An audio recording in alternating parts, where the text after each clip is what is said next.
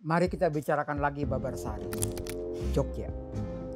Di dalam kronik sosial Jogja, ya, kekerasan berupa perkelahian antara gangster, para jago, sangat sering terjadi di kawasan ini. Karena itu, Barbarsari sering disebut Gotham City, tanpa Batman tapi. Tapi Babarsari di Jogja nggak melulu soal kekerasan sosial, yang spiral antar para jago. Babarsari juga punya reaktor nuklir. Dan kawasan di mana reaktor itu berdiri bernama Kawasan Sains dan Edukasi Ahmad Baikuni. Nama reaktornya nah ini nih. Namanya adalah RA Kartini. Tentang Kartini yang berapi itu kita sudah membahasnya di jas merah yang sudah lama. Tapi nama Ahmad Baikuni, siapa tokoh ini? Saya Muhyiddin M. Dahlan, dokumentator partikelir di Warung Arsip. Jas merah, inilah Ahmad Baikuni. Kesepian ilmuwan nuklir putra terkasih komunis santri adalah pertama-tama dan pada tahap utamanya membangun jiwa bangsa.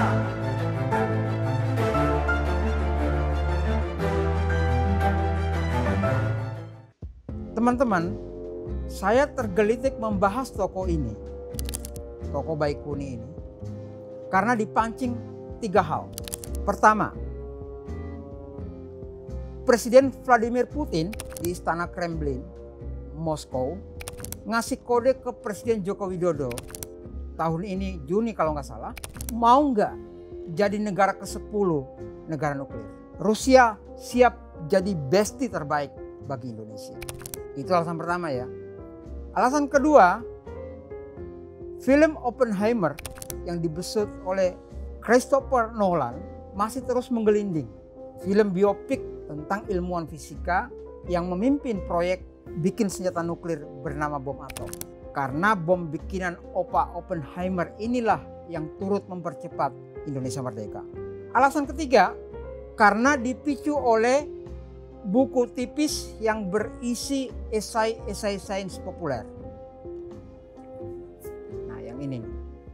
Ditulis oleh mahasiswa fisika Universitas 11 Maret Surakarta. Jadi mereka satu kota ini. Namanya Joko Priyono. Baru terbit dari luar bioskop itu judulnya ya. Dan ada nama Oppenheimer-nya juga di bagian judul. Dari delapan tulisan ada esai khusus Ahmad Baikuni. Dari tulisan ini, oh ya tahun 2023 tokoh yang namanya diabadikan sebagai kawasan nuklir di Babarsari Jogja itu memasuki tahun ke-100. Jadi Baikuni ini lahir di Solo, Surakarta. Tetapi ia lulusan SMA di Surabaya. Sebetulnya bukan sebut lulusan ya, tapi nggak selesai. Dia kabur dari sekolah di masa Jepang itu ya, karena ia menolak digunduli oleh Kapentai digunduli oleh serdadu Jepang. Dan dia memilih balik ke Surakarta. Di Solo sebagai remaja, sebagai terpelajar, sebagai pelajar gitu ya. Baikuni bergabung dengan laskar dengan spesialis sangat khusus, sangat unik. Dan kelak membawa kecintaannya yang aneh dan ajaib ini pada dunia nuklir di tanah air. Di Tentara Pelajar Solo, Baikuni menjadi pimpinan muda laboratorium untuk urusan bom-boman. Sekali lagi, ini remaja putus jalan SMA ya. Tahu nggak berapa bom tangan yang dihasilkan laboratorium Baikuni ini? Seribu. Jadi ada seribu granat yang disumbang. Seribu bom tangan. Mereka sumbangkan untuk Laskar Revolusioner. Oh ya saya lupa teman-teman. Alasan keempat mengapa Ahmad Baikuni ini penting justru karena ia adalah putra tokoh Partai Komunis Indonesia. Baikuni adalah putra dari digulis Kiai Haji Ahmad Dasuki Siroj. Dasuki Siroj masa mekar-mekarnya ya dibimbing oleh Cipto Mangunkusumo dalam soal jurnalistik dan kepenulisan di surat kabar penggugah. Ini terbit di Surakarta ya. Dia satu klik dengan Haji Misbah. Masuk PKI 24. Dibuang ke Bovendigul, Papua sana. Dan dia adalah santri. Dari Madrasah Mambaul Ulum Surakarta. Dasuki kemudian berlanjut ke Pondok Pesantren Kasingan, Rembang.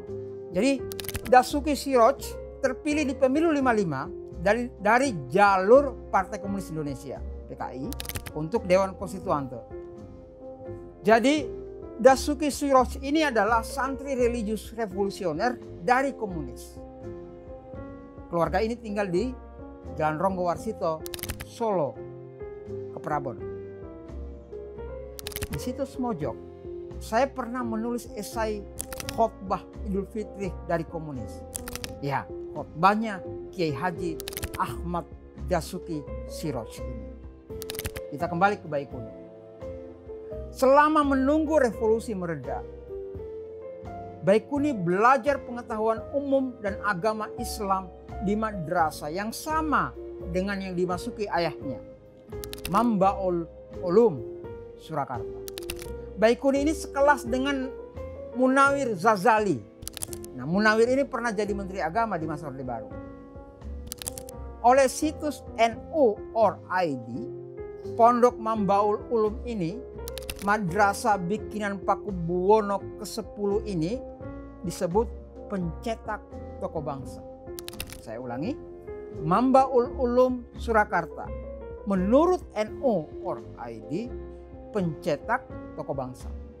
Digulis Ahmad Dasuki Siroj, anggota Dewan Konstituante PKI, lulusan Mambaul Ulum. Putranya Ahmad Baikuni, si remaja pembikin granat untuk Laskar Revolusioner Surakarta tadi, juga jebolan Mambaul Ulum. Apakah selepas dari Mambaul Ulum, Ahmad Baikuni ke IAIN Kalijaga atau kampus-kampus agama? Yo, enggak. Ia ke Universitas Indonesia. Ia memilih Fakultas Ilmu Dasar, Ilmu Eksakta. Santri ya. MIPA orang bilang sekarang. Baikuni memilih jurusan yang selama revolusi menjadi passion dan panggilan jiwanya. Fisika. Manusia granat dari Solo ini gak berhenti sampai di situ.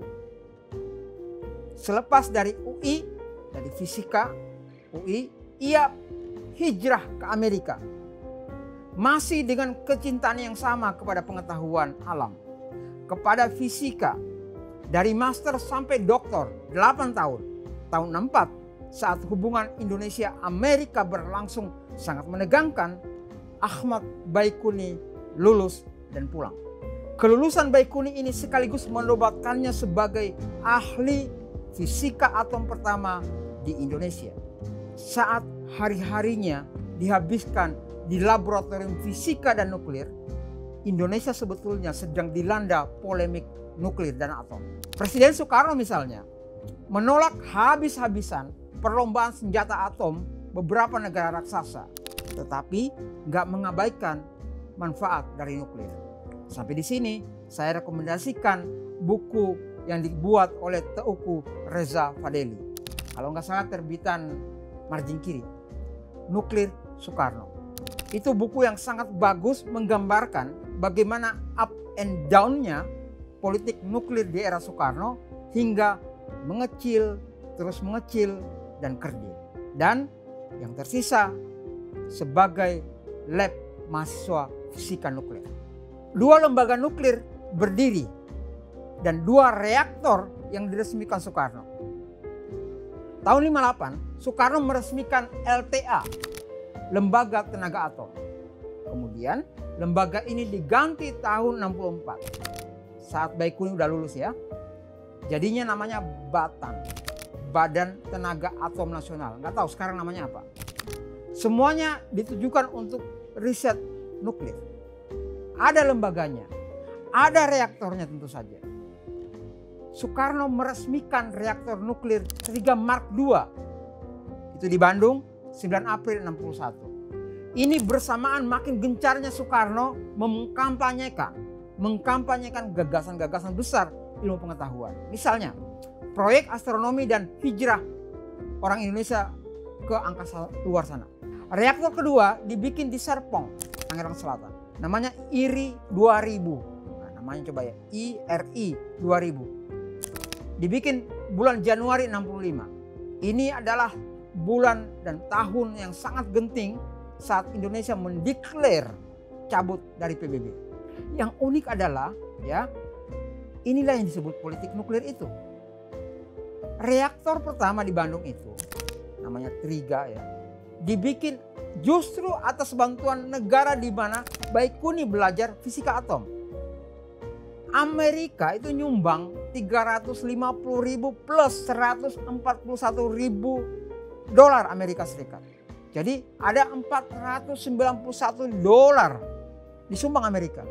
Bayangkan ya, Amerika yang jadi musuh bebuyutan Soekarno yang danain reaktor nuklir pertama Indonesia di Bandung. Sementara reaktor kedua, reaktor IRI 2000 di Sokong sepenuhnya justru Uni Soviet, negara seberangnya Amerika gitu. Di mana ya partai ayahanda tercinta Ahmad Baikuni PKI berhikmat Uni Soviet. Untuk soal pembuatan senjata nuklir tahun 65, Soekarno juga pernah ngirim kode ke Cina untuk ngasih bahan. Tapi Cina nolak. Kata Cina, udah bikin sendirilah. Pasti kalian bisa. Mengapa bisa? Ya karena Indonesia sudah punya ilmuwan nuklir seperti Ahmad Baikuni ini. Atau sudah ada ilmuwan Siwabesi namanya yang terkenal dengan sebutan Bapak Atom Indonesia. Uniknya, keinginan bikin senjata atom itu di, justru disampaikan justru disampaikan Soekarno di mimbar keagamaan. Aneh toh? Di Muktamar Muhammadiyah Bandung di bulan Juli tahun 65. Jadi koinsidensi nuklir dan Muhammadiyah itu terjadi di sini. Sementara ada Baikuni, santri nuklir, santri atom, putra terkasih dari anggota PKI. Begitulah sejarah. Emang selalu nggak terduga jalannya. Dan Ahmad Baikuni belum juga mengerahkan sepenuhnya keilmuannya untuk energi hebat Indonesia. Energi nuklir. Eh G30S meletus bom atom politik ganas ini menghancurkan semuanya. Soekarno jatuh. PKI jatuh. Semua ide besar nuklir runtuh. Jadi politik itu sedinamis itu. Politik sedinamit itu. Saya masih ingat betul bagaimana PKI ini habis-habisan menentang perang atom yang dipicu percobaan bom hidrogen oleh Amerika tahun 52.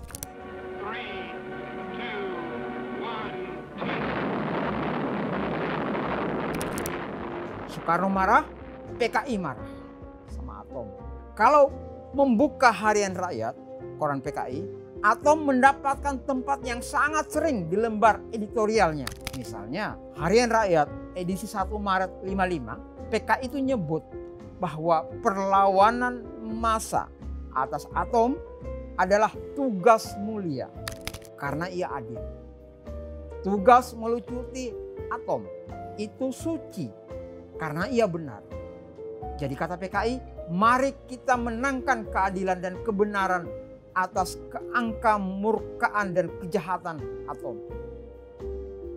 PKI bahkan memobilisasi massa, menyerukan membuat panitia aksi, menyebarkan pamflet hingga ke sekolah untuk menentang apa yang disebut atom. Saya membayangkan bagaimana Kiai Haji Ahmad Dasuki Siroj, kiainya komunis itu, Lah, anak saya Ahmad Baikuni itu sedang suntuk di laboratorium nuklir Amerika sana.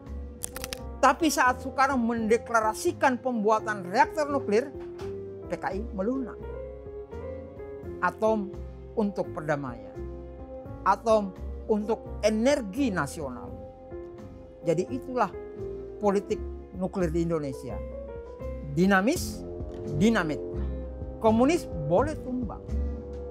Partai politik di mana ayah Baikuni ada di sana diburu. Tapi Ahmad Baikuni tetaplah tegak. Mengapa? Karena dia ilmuwan. Ilmuwan nggak kaleng-kaleng. Pengetahuannya yang spesifik, yang langka, tetap membuat namanya tidak redup. Ia tetap terang walau hanya terang bohlam 5 watt. Demikianlah mengapa reaktor nuklir di Babarsari itu bernama RA Kartini. Habis gelap, terbitlah terang. Ia berdiri di kawasan sains yang diambil dari nama manusia kedua di Badan Atom Nasional, Batang, Ahmad Baikuni. Babarsari itu gelanggang yang keras. Babarsari dinamit. Walau sama-sama nuklir, Babarsari berbeda segalanya dengan misalnya kota Zaporizhia, Ukraina. Atau kota nuklir terbesar di Eropa. Atau berbeda dengan Fukushima di Jepang. Yang sekarang lagi jadi obrolan tren karena limbah nuklir. Reaktor Kartini Babarsari, gak segitulah reaktor Kartini sekedar lab mahasiswa fisika nuklir UGM untuk cabang ilmu pengetahuan yang menakutkan banyak orang. Sampai-sampai Nirwan Ahmad Arsuka, Nirwan Ahmad Arsuka ya, alumni teknik nuklir UGM. Di bukunya yang ini, dia sudah almarhum ya, yang super tebal semesta manusia, membuang jauh-jauh semua diksi atom, diksi nuklir, nggak mau menyebut nama, nama Oppenheimer, apalagi Ahmad Baikuni. Ahmad Baikuni ini dosen UGM ya. Babarsari, Ahmad Baikuni, dinamit. Saya Muhyiddin M. Dahlan, dokumentator partikelir Warung Arsip, Jas Merah. Terima kasih sudah menonton.